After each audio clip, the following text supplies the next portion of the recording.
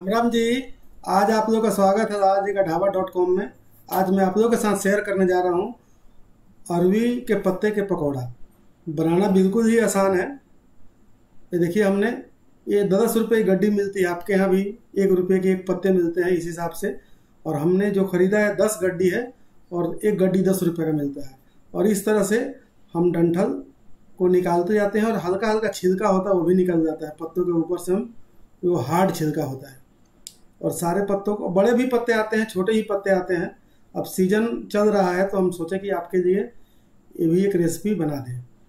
इसको हम पतला पतला काटेंगे, क्योंकि जो रेकवच हम बनाते हैं, उसमें बहुत ज़्यादा टाइम लगता है और वो सबसे बनना संभव नहीं है। बहुत कोशिश करने के बाद बनता है और ये एकदम बिल्कुल आसान है, कोई भी बना सकता है। तो बिल्कुल पहले पत्तों को धो दें और धोने के बाद बिल्कुल बारीक बारीक काट दें। इससे भी चाहे तो दोबारा भी आप काट सकते हैं, इसको और भी बारीक कर सकते हैं। और इसी तरह सारा पत्तों को हमने बारीक बारीक काट के और एक पतीले में रख दिया है। इसी में बेसन हम आधा किलो डाल रहे हैं। एक चम्मच हल्दी पाउडर है, एक चम्मच आमचूर पाउडर है, दस गड्डी के लिए है ये। और एक चम्मच ये लाल मिर्च है और एक चम्मच ये नमक है। आप इसमें चाहें तो पत्ते दो तरह के आते हैं। एक पत्ते से वो गला काटता है। तो आप आमचूर की मात्रा या नींबू डाल के कुछ और भी ज़्यादा खट्टा इसको कर सकते हैं। वो कैसे पता चलता है? जब आप इसको खाते हैं, तब ये पता लगता है कि गला काट रहा है। तो आप ऊपर से भी नींबू डाल सकते हैं।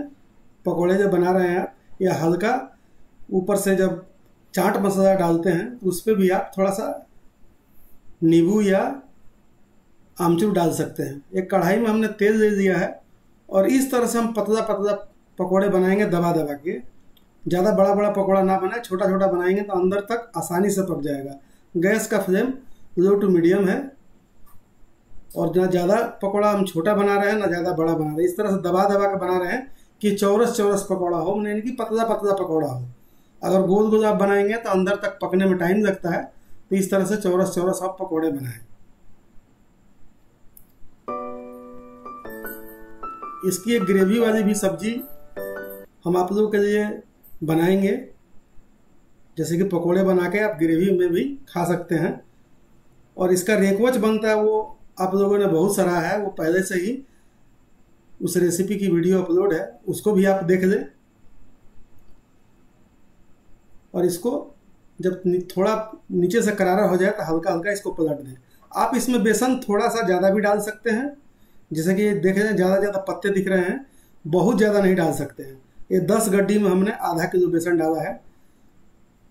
और इसको आप दोबारा भी क्रंची और कर सकते हैं। एक बार आप निकाल लें और जब खाने का दिल करे, तब क्रंची करें। जैसे कि जब हमारे पास ग्राहक आते हैं तो इसको हम क्रंची करते हैं।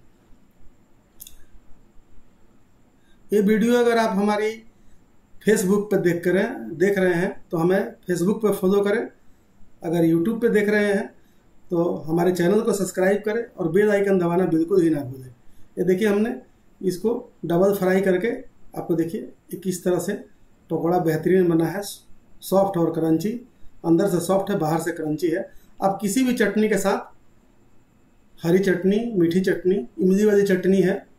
इमली की चटनी ऑलरेडी हमारे चैनल पर अपलोड है। तो हम फिर मिलते हैं एक नई रेसिपी के साथ। जब तक के लिए राम राम जी।